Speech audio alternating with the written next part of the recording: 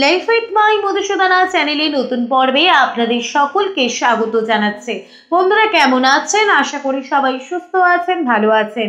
মা লক্ষ্মী দেবীর অশেষ কৃপা পেতে অবশ্যই কমেন্ট বক্সে লিখুন, জয় মা লক্ষ্মী দেবীর জয়। এই পর্বের বিষয় হলো দু সালের চোদ্দশো একত্রিশ বঙ্গাব্দের কোজাগরি লক্ষ্মী পূজার পঞ্জিকা অনুযায়ী পূর্ণাঙ্গ সময়সূচি। কোজাগরি লক্ষ্মী পূজার পূর্ণিমা তিথি কখন শুরু হবে? পূর্ণিমা তিথি কখন সমাপ্ত হবে? সম্পূর্ণ সময়সূচি। দু হাজার চব্বিশ সালে চোদ্দশো একত্রিশ বঙ্গাব্দে কোজাগরি লক্ষ্মী পূজা কবে অনুষ্ঠিত হবে?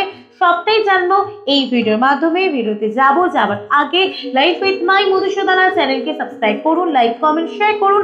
ধার্মিক হয়ে নোটিফিকেশন ঘন্টাটা বাজিয়ে দিন।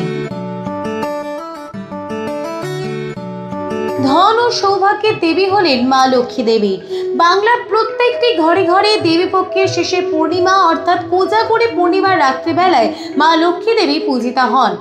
অনেকেরই মনে প্রশ্ন থাকে কোজাগরি শব্দের অর্থটি কি?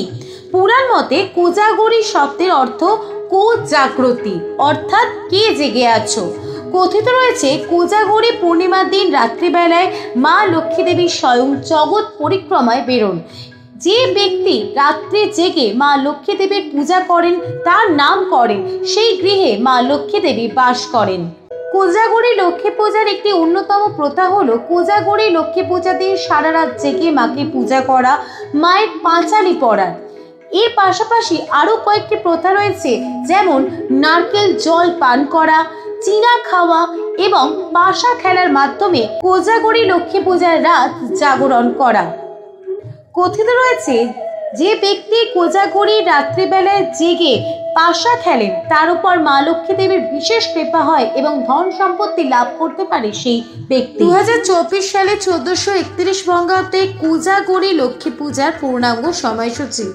দু হাজার চব্বিশ সালে চোদ্দশো একত্রিশ বঙ্গাব্দে কোজাগরি লক্ষ্মী পূজা ষোলো ও সতেরোই অক্টোবর দু হাজার চব্বিশ বাংলার উনতিরিশ ও তিরিশে আশ্বিন চোদ্দোশো একত্রিশে পালিত হতে চলেছে। পূর্ণিমা তিথি শুরু হবে ষোলোই অক্টোবর দু হাজার চব্বিশ বাংলার উনত্রিশে আশ্বিন চোদ্দোশো একত্রিশ বুধবার রাত্রি আটটা চল্লিশ মিনিটের পর থেকে পূর্ণিমা তিথি সমাপ্ত হবে সতেরোই অক্টোবর দু হাজার চব্বিশ বাংলার তিরিশে চোদ্দোশো একত্রিশ বৃহস্পতিবার বিকেল চারটে পঞ্চান্ন মিনিটে। দু হাজার চব্বিশ সালে কোজাগরি লক্ষ্মী পূজা পূর্ণিমার নিশি পালনে অনুষ্ঠিত হয়। দু হাজার চব্বিশ সালে আশ্বিন মাসে পূর্ণিমার নিশি পালন করা হবে ষোলোই অক্টোবর দুহাজার চব্বিশ বুধবার। সেই অনুযায়ী কোজাগরি লক্ষ্মী পূজা অনুষ্ঠিত হবে ষোলোই অক্টোবর দু হাজার চব্বিশ বুধবার। ভক্তি ভরে এবং সঠিক নিয়ম অনুসারে কোজাগরি লক্ষ্মী পূজার দিন মা লক্ষ্মীকে পূজা করলে মা লক্ষ্মী দেবীর কৃপা হয়। মা লক্ষ্মী দেবীর কৃপায় গৃহে সর্বদা ধন সম্পদ ভরে থাকে। জ্যোতিষশাস্ত্র মতে কিছু উপাচার রয়েছে। কোজাগরি লক্ষ্মী পূজার দিন সঠিক নিয়ম অনুসারে সেই উপায়গুলি করতে পারলে মা লক্ষ্মী দেবীর কৃপা হয়।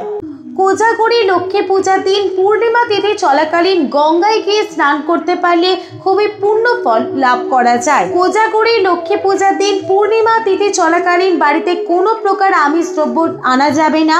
আমিষ আহার রান্না করা যাবে না, আমিষ আহার করা যাবে না। কোজাগরি লক্ষ্মী পূজার দিন মা লক্ষ্মীকে রাতের সময় পূজা করলে মা লক্ষ্মী দেবীর বিশেষ কৃপা লাভ করা যায়। কোজাগরি লক্ষ্মী পূজাতে শুধুমাত্র মা লক্ষ্মী দেবীকে পূজা করলে হবে না ভগবান গণেশ এবং ভগবান বিষ্ণুকেও পূজা করতে হবে। কোজাগরি লক্ষ্মী পূজার দিন যদি আপনি ভগবান বিষ্ণুকে পূজা করেন, মা লক্ষ্মী দেবীর কৃপা সারা বছর আপনার উপর থাকবেন।